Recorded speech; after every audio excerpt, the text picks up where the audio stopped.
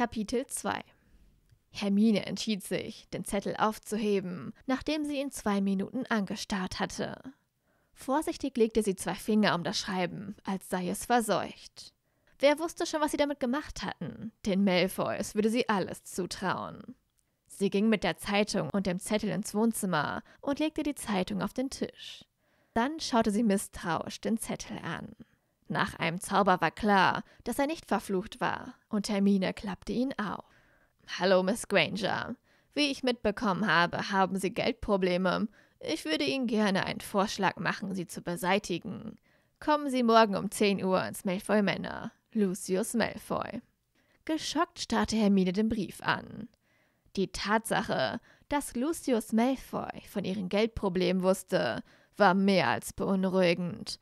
Und dass er ihr offensichtlich helfen wollte, war noch beunruhigender.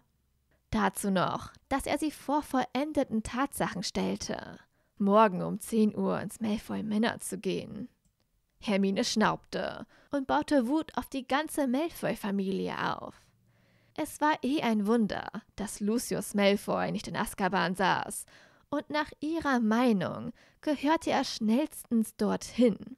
Aber andererseits wäre es die Gelegenheit, ihre Geldsorgen loszuwerden und doch noch nach Hogwarts mitzukönnen. Auch wenn Lucius dafür bestimmt etwas Schlimmes verlangte. Aber sein Vorschlag könnte sie sich zumindest anhören auch wenn ihr der Gedanke nicht behagte, das Malfoy Männer zu betreten. Das letzte Mal, als sie dort gewesen war, wurde sie gefoltert, und sie wollte auf keinen Fall alte Erinnerungen aufwecken. Sie legte den Brief neben die vergessene Zeitung auf den Tisch und ging wieder hoch zu ihrer Mutter. Diese schlief noch tief und fest, und sie beschloss selber, auch noch etwas zu schlafen. Morgen früh würde ein Arzt kommen, der ihre Mutter wieder mit ins Krankenhaus nehmen würde was in der jetzigen Situation auch gut passte. Das ist doch nicht dein Ernst, schnaubte Draco und schaute seinen Vater wütend an. Doch, Draco, ich glaube, sie würde gut zu dir passen. Und außerdem sieht sie nicht schlecht aus und ist eine von Potters engsten Freunden, erklärte Lucius seinem Sohn. Was hat denn Potter damit zu tun? Der Krieg ist vorbei, Vater, zischte Draco und er wusste, dass er nicht mehr viel weitergehen könnte, ohne den Zorn seines Vaters auf sich zu lenken. Glaub mir, Draco, es wäre ein geschickter Schachzug. Und da du eh ein Schlammblut heiraten müsstest, warum nicht Hermine Granger? lächelte Lucius kalt. Du glaubst doch nicht wirklich, dass sie da mitspielt. Sie hasst mich und würde sich eher umbringen, als mich zu heiraten, zischte Draco seine Bedenken aus und hoffte, seinen Vater umstimmen zu können. Sie wird es wollen, Draco. Ich habe sie in der Hand, lächelte Lucius noch kälter und machte mit einer Handbewegung klar, dass er nicht weiter darauf eingehen wollte. Schnaubend verließ Draco das Zimmer seines Vaters. Ihm war vollkommen klar, dass er Granger irgendwie erpressen würde.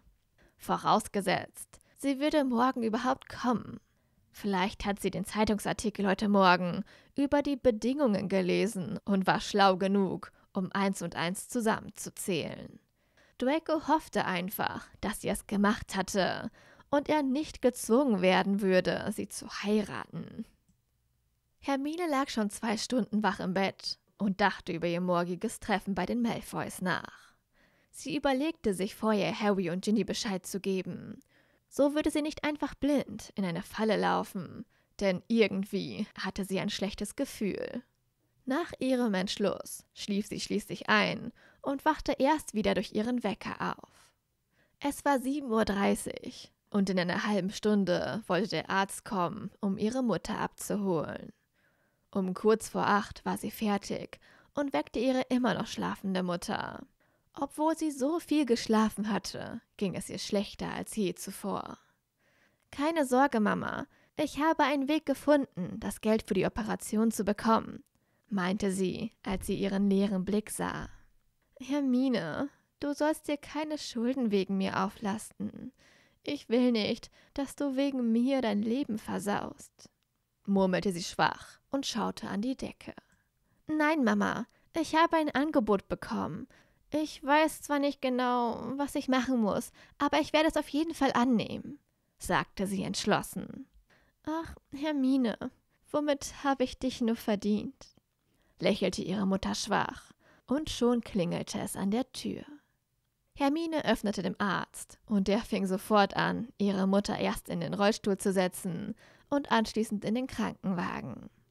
Ich komme dich so schnell wie möglich besuchen, murmelte Hermine und drückte ihr einen Kuss auf die Stirn, bevor sich der Wagen in Bewegung setzte und Hermine ihm nachdenklich nachstarrte.